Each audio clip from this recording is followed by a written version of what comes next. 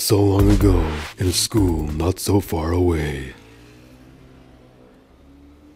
Oh no, there's that bully. What shall I do?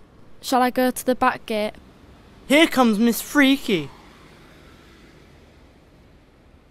That's not cool.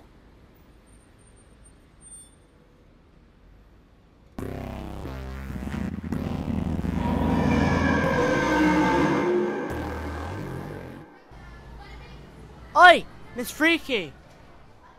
Hey, Mrs. Freaky, I'm talking to you. Should I do something? But then it might happen to me.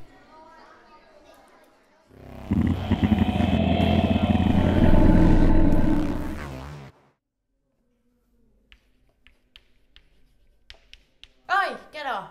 Pay attention. Turn round. She wasn't doing anything. That's not fair. Get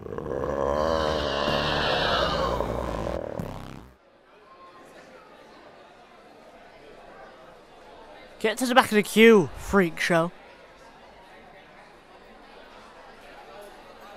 I should have said something. I'll say something next time.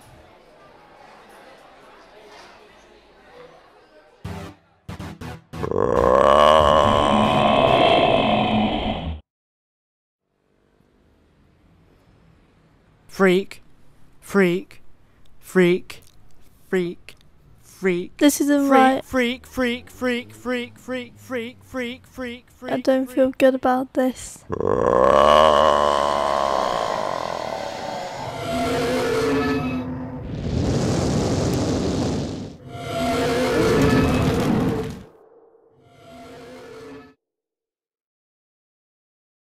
When I was being bullied, I felt depressed, worthless, sad, alone, and hopeless.